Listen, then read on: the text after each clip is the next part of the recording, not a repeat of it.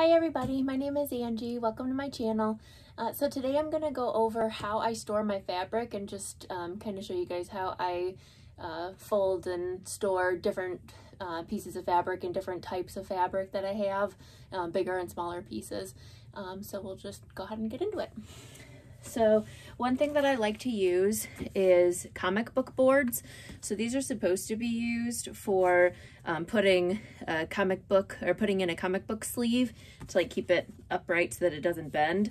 But it, it's just a little piece of cardboard, so you could just use cardboard too. But um, I get these on Amazon. I'll go ahead and link it below. It's like a hundred pack of them um, that I get on Amazon.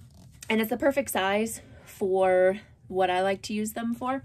Uh, so I just like to take my fabric and wrap it around and then stack these up on a shelf and I'll go over that in a little bit. Um, but that's how I like to do um, smaller cuts of yardage, like I would say up to like two to three yards. Anything over that and it starts to warp this and it um, it just doesn't hold up very well. But for anywhere from a half to two to three yards, it works really well with these comic book boards. Um, and a lot of the times I usually buy in, when I buy yardage, um, unless I have a certain project in mind, I usually like to buy a yard of it. So it works out well. So here is a piece that I have. I don't remember how big this is. I bought this a while ago. So Looks like it's, I think this was a remnant. It's just shy of a yard. But, so what I like to do is take it, and it is folded um, with the selvage ends um, folded together on the side here. So we have the, the length of it, the yardage going this way by the width of fabric folded in half. And then I just take it and fold it into thirds. And I'll set my little comic book board. I'll set that to the side of it if I need to. Um, once I've done this enough, I can kind of eyeball it and know that I'm folding it to the right size. Uh, but I just set it beside so that I know the length that I want to fold it to. And that looks about right. And I just go all the way across. I'll do a little bit more. So it's about the right size. I like to have just a little bit overhanging um, on either end. You can do it. I've seen other people fold it so that the uh, fabric comes right up to the tips, but that's just how I like to do it with it overhanging a little bit. And then we just fold it over and then keep it, I kind of pull it back so that it's nice and snug and then just keep folding and you can leave it like that with the edge hanging out. I'm particular about that and I don't like that little bit hanging off so I'm gonna make it a smaller piece that it's folding over here so that I have a bigger piece on the end. And that way it's not flopping over, it just kind of lays nice and flat.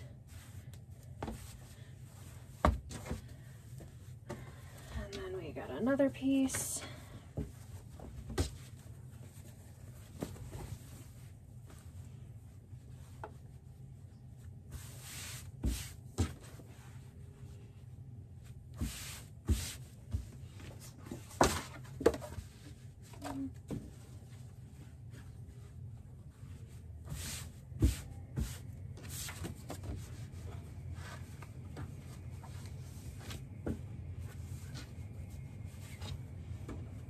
And I do that every time.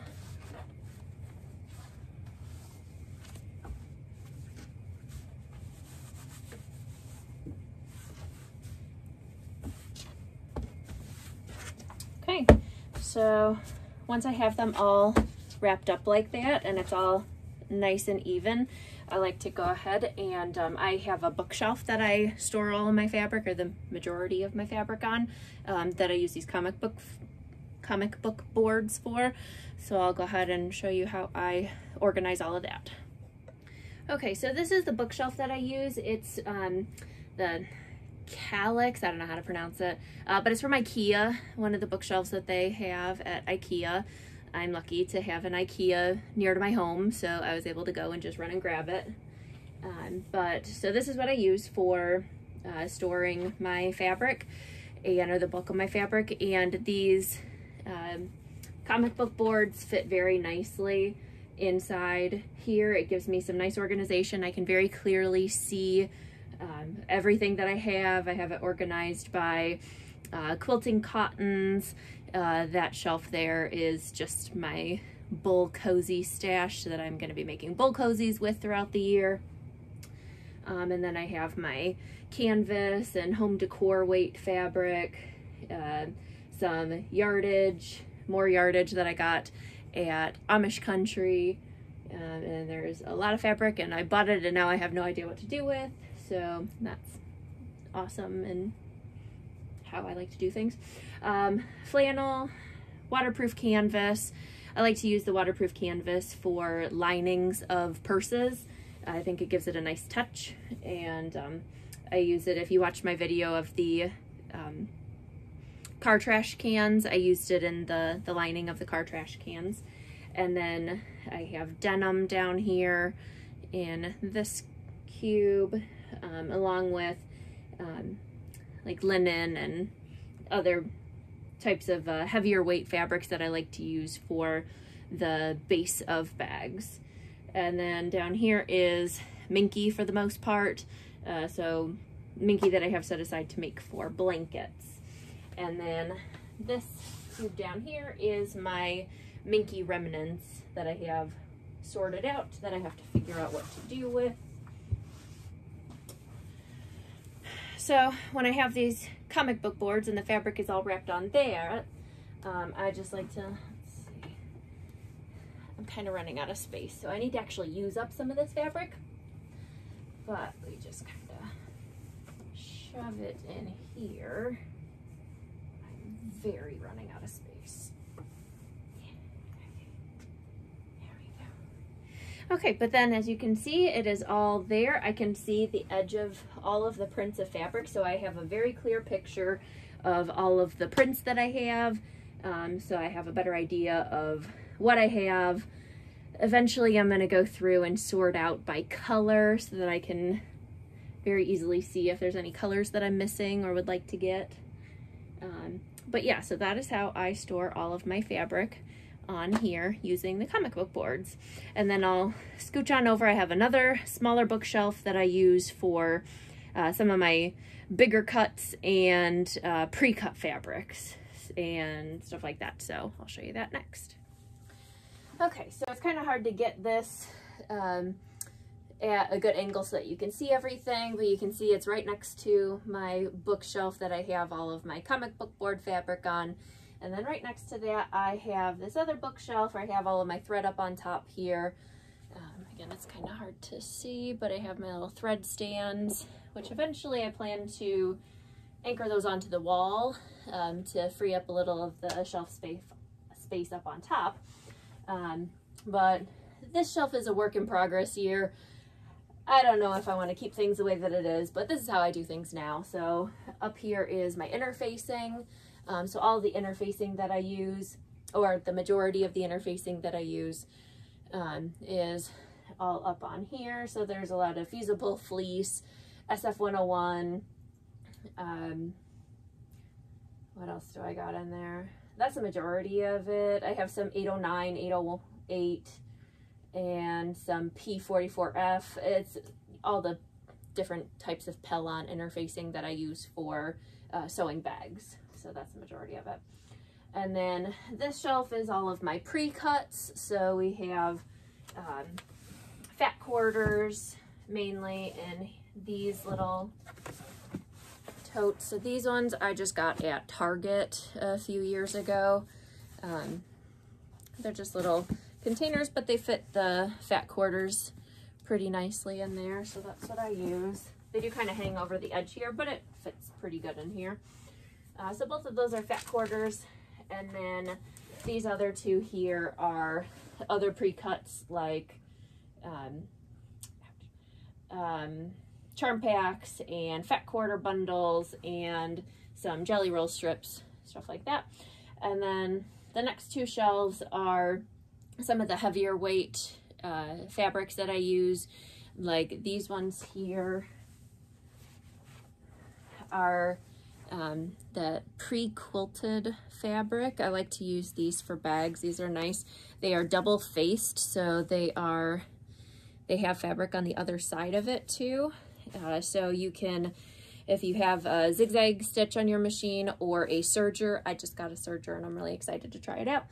Uh, but if you have a serger, you can just serge the edges of it and all of a sudden it is good to go to make uh, placemats out of or a bag um, with the edges serge and it it won't have any pockets or anything on the inside, but it will be lined since it is that double-sided. So I like using these for that as well.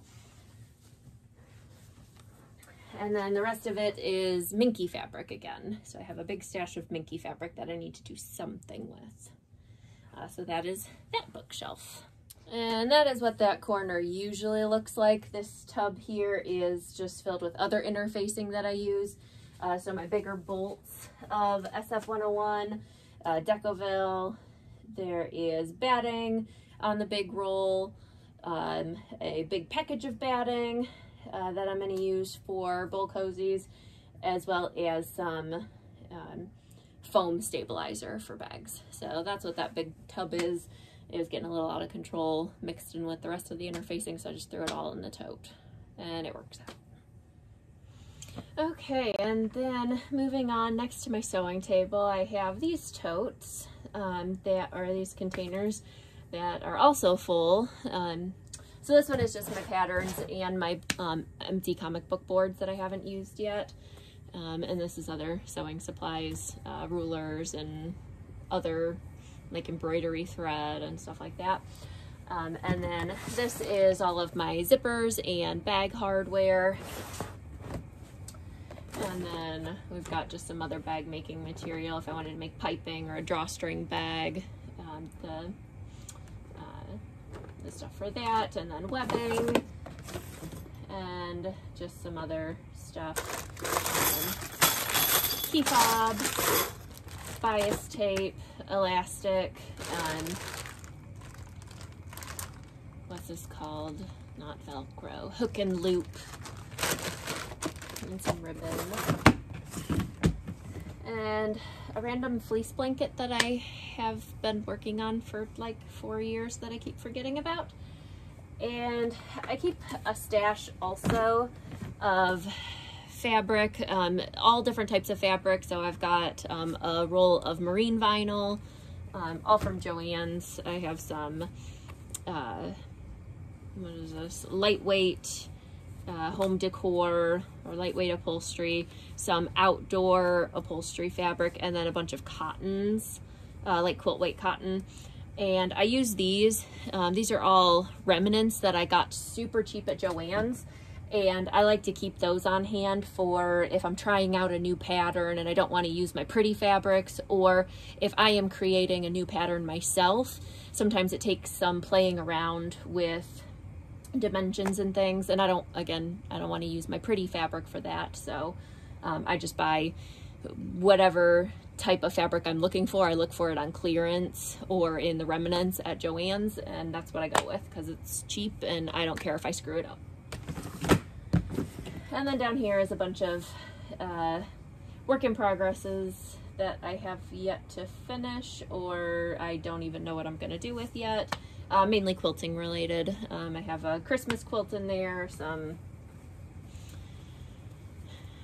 This is a, a, table runner that I have the top done, but I need to get a backing for it. And some what even was that? Oh, some Thanksgiving themed uh, placemats that I started on like three years ago and then forgot about. Maybe I should work on this drawer. Oh, and I also, I need to put these away, but these are, uh, shout out to MoreMeKnow, the Peekaboo Beauty Bag, makeup bag. This is super cute. Look at this pretty fabric. I have a tutorial showing how to make this, so I'll link that below. If you haven't checked it out yet, go take a look. Because it's a super cute bag, and actually, I sized down the pattern. So this cute little one. It's so cute. So definitely go check that out. Like I said, I'll link it below. Okay, so then the last little bit, sorry I'm, I couldn't get a good angle with my tripod, so I'm just holding it. So sorry if it's shaky. But this is just where I keep the majority of my vinyls um, and faux leathers that I use for bag making. Um, so I just kind of keep them in a roll and keep them all stashed in here. And then this drawer is my, or this little bin is my smaller pieces as well as um, like little scraps uh, that I want to save, don't feel like pitching. And then we'll ignore that and that. And then up here, sorry if the lighting's bad, I'm right underneath the light. Um, but I get these little shoe boxes. Um, they're supposed to be shoe boxes, at least. Um, so they are just the little like Sailrite, I think is the brand, um, containers that I get at the dollar store for a dollar. Um, and I use that for the bulk of my scraps. Um, so I have them sorted out to my interfacing scraps, batting? Canvas, waterproof canvas, flannel, cotton, uh, quilt cotton, like larger pieces of quilt cotton, and then lots of other pieces of quilt cotton. And I have another bin somewhere that I am working on cutting up some of my scraps into two inch or two and a half inch strips.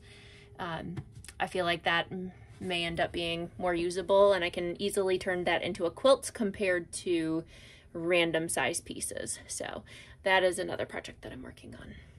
All right, so there you have it. So that is how I store all of my fabric. Well, and I guess all of the other sewing supplies that I have for the most part. I kind of went into a little bit more detail, but that is how I store all of my uh, fabric and sewing supplies. Uh, so let me know in the comments down below what you do, um, if there's any tips or tricks that you have for small sewing spaces. Um, I do feel very uh, grateful and very lucky that I do have a sewing room that I can use. I do have my own full sewing room. It is a very small room though, uh, so I do have to be uh, kind of creative and very specific about the space that I am using. Um, like even this little space right here, I want to go ahead and get another bookshelf there, um, just since there's not much stuff that I can put in that space as is, but if I have a bookshelf, then I can utilize the height of the space as well.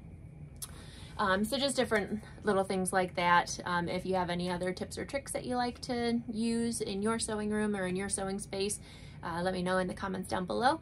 Make sure to give this video a thumbs up if you'd like it and uh, make sure to subscribe so you can uh, get notified when I post any new videos uh, to keep up with uh, what I'm making next. All right, well, thanks for watching. Bye.